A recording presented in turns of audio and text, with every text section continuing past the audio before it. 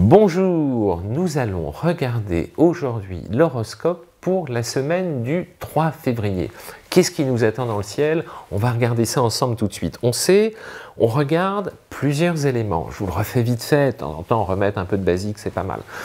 je vais regarder l'influence de Soleil, vitalité. Je vais regarder l'influence de Mercure, notre aptitude à communiquer, de Vénus, notre disposition à être dans des bonnes énergies sur le plan affectif. Et puis, je regarderai Mars, qui nous permet d'avoir une, idée assez concrète du mode d'énergie qu'on va utiliser pour chacun de nous.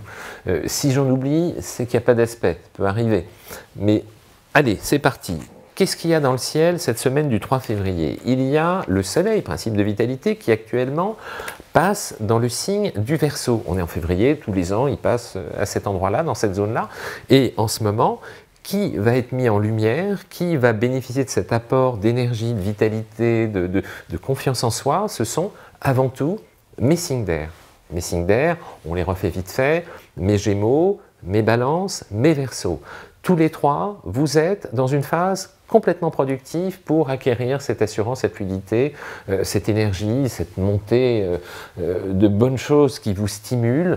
Et, alors, vous trois messing d'air, vous êtes complètement dans cet angle protecteur et bienveillant, mais il y a également deux signes en amont et en aval, toujours ceux qui sont ce qu'on appelle à 60 degrés en sextile, qui est à 60 degrés avant mes versos, c'est mon sagittaire, et en aval, c'est mon bélier. Donc vous, 5, semaine super péchu, avec confiance en vous, énergie, vitalité. Bref, tout va bien. Vous avez envie d'entreprendre quoi que ce soit, de créer du lien, des contacts, etc. C'est une excellente semaine pour ça, pour travailler votre confiance en vous aussi. C'est pas mal. Mais Bélier, la confiance en vous, bah, en général, vous l'avez un peu plus que la moyenne. Mais Sagittaire, vous l'avez aussi. Vous passez par ce filtre optimisant, de voir le bon côté des choses, qui est un soutien assez puissant. Mais ce qui existe chez les éléments feu naturellement n'est pas systématiquement le cas chez les éléments air.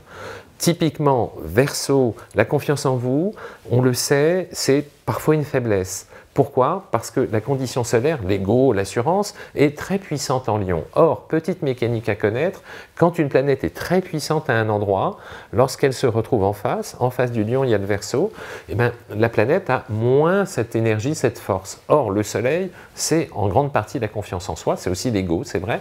Hein. Donc, soleil en verso, moins confiance. Mais du coup, ce qui est agréable avec mes versos, c'est qu'ils sont un peu plus dans le doute, dans l'hésitation, dans l'introspection, dans, dans la ce qui fait que l'accès humain il est beaucoup plus facile. Et souvent, on constate que mes versos ont une disposition beaucoup plus heureuse à créer des liens sur le plan relationnel, amical, etc., avec plus de naturel et de facilité, parce que leur ego étant plus faible, ils se fondent, vous vous fondez plus naturellement dans les groupes. C'est un truc, voilà, c'est comme ça. Sympa beaucoup d'amis verso. Qu'est-ce que j'ai d'autre pour cet horoscope du 3 euh, février? J'ai Mercure, Mercure qui arrive, alors c'est simple, hein, dès le lundi, Mercure, la communication, euh, était en verso depuis quelques jours et va passer en poisson. Quand Mercure passe en poisson, qu'est-ce qui se passe? Mercure, c'est le mental, l'intuition, l'intelligence au sens large. Mercure, entrant dans le signe des poissons, va apporter une meilleure communication pour qui? Pour 5.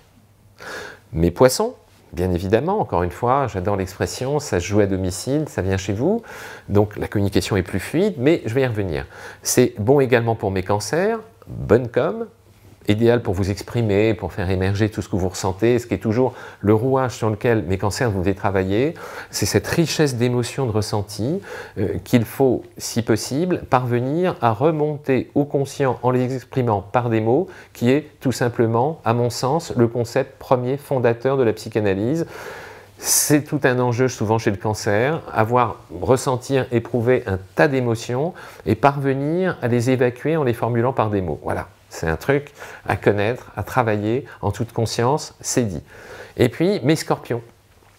Un bel aspect de Mercure pour vous, pour toute cette semaine, vous permet d'être plus fluide dans l'échange. Alors, fluide dans l'échange pour vous, mes scorpions, qu'est-ce que ça peut donner? Ça peut donner que on va naturellement, intuitivement, savoir comment faire passer le message sans nécessairement surdoser avec un petit coup de piment qui ne sera pas indispensable parce que votre fluidité naturelle à ce moment-là sera plus marquée. Donc pas besoin de piquer parce que finalement, quand on pique trop, ça brûle, les gens écoutent moins, ils ont la trouille même, hein, ils évitent. Euh, donc là, plus vous allez être linéaire dans le message, plus ça va bien passer, c'est dit. Même chose pour mes signes associés, pour mon taureau, hein, mon taureau qui reçoit l'aspect de Mercure en partir du poisson qui est bon, et pour mes capricornes, qui vous aussi, comme le scorpion, gagnez à travailler la communication zen. Alors mes capricornes globalement, la communication zen, au niveau boulot, professionnel, vous êtes des experts. Esprit synthétique, esprit analytique, parfaitement calibré.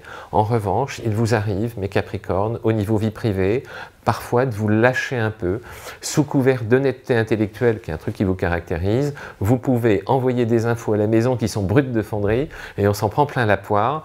Euh, je connais un petit peu le sujet, mais ça fait aussi partie de tout ce qui fait votre charme, dans la mesure où on pique pas trop euh, sur ce qui est sensible. C'est dit. Voilà pour Mercure. Qu'est-ce que j'ai d'autre? Euh, Donc 5 pour Mercure. Hein. Après, j'ai ma Vénus. Ma Vénus, elle est aussi en poisson, on l'avait vu elle est chez elle en poisson Vénus. Elle est, je reviens sur le sujet parce que lorsqu'une planète est heureuse à un endroit, euh, ça mérite qu'on s'y arrête un tout petit peu. Vénus, c'est l'amour, c'est euh, l'enjeu numéro un sur le plan relationnel, c'est ce qui nous relie, c'est fondateur, fondamental, essentiel, voilà. Et cette Vénus en poisson, elle prend une couleur de charme, de délicatesse, de fluidité, de sensibilité, de réceptivité, de tout ce qui permet de créer des liens sur le plan relationnel, sur le plan humain, mais des liens qui sont au-delà du vernis social, au-delà des enjeux, des postures. La Vénus, elle permet globalement, bien gérée, de créer des vraies connexions émotionnelles avec tous ceux qui nous entourent. Donc l'enjeu, il est méga mouse. Hein. C'est énorme ce truc. À travailler en conscience, se rendre accessible, être comment dire, humain, sympa, aimant. Voilà, aimant, pas, d'autre mot. Hein. Aimant, c'est marrant parce que je pense à aimer, puis aimanter en même temps, c'est un double sens. J'aime bien l'image, bon, perso, voilà. Euh, donc, très belle Vénus. Vénus, elle veut du bien au même, hein, comme Mercure. Elle veut du bien à mes poissons, à mes scorpions, à mes cancers, à mes capricornes et à mes taureaux. Voilà, c'est dit pour Vénus. Bon cette semaine. Qu'est-ce que j'ai d'autre dans le ciel? J'ai mon Mars, l'action, l'action qui est toujours dans le signe du Sagittaire. Alors, je ne sais pas si je vous l'ai raconté déjà, mais euh, j'ai trouvé euh, Mars, l'action, Sagittaire, la dépense physique, cette configuration chez de nombreux sportifs de haut niveau. Alors, on ne peut pas être tous être des sportifs de haut niveau, mais ce que j'en retiens, c'est quand Mars, l'action est en Sagittaire, euh, une sorte de, besoin de, se dépenser physiquement, d'être actif, d'aller faire de la marche, de faire des choses simples mais qu'on bouge, qu'on bouge physiquement. Pourquoi? Parce que Mars, l'action, dans ce signe euh, qui représente justement la mobilité, euh, gagne, euh, comment dire, une, sorte de, force de vie qui a une incidence extrêmement positive sur le moral. Donc un Mars Sagittaire, si on se remue, si on se prend en main, si on bouge, si on va courir, marcher, se balader, nager, etc., qu'importe, du moment qu'on se dépense. C'est ça le message de son passage dans ce signe du Sagittaire, c'est ça qu'il faut exploiter. Et à qui va-t-il faire du bien?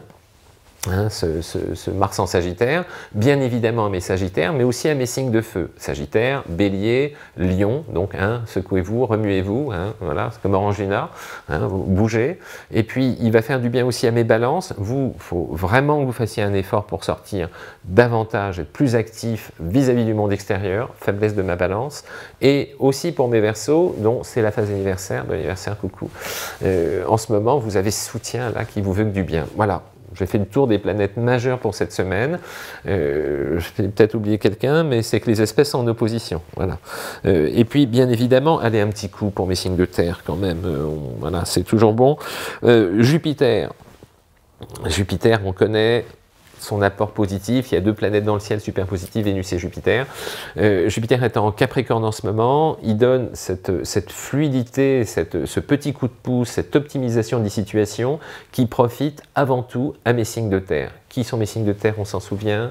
Mes taureaux, mes vierges et mes capricornes. Vous êtes sur des rails. On lâche rien, on avance. Pas à pas, mais on avance. Voilà, c'est dit. C'était notre petit horoscope hebdomadaire euh, de cette semaine du 3 février. Euh, il y a plein d'autres aspects, mais je ne vais pas vous faire un truc qui fait une demi-heure. Après, c'est long, puis je vais en garder pour la semaine prochaine. Allez, on se dit à très vite. Merci pour vos likes, toujours moi hyper sensible à ça. C'est dit. Ciao, ciao.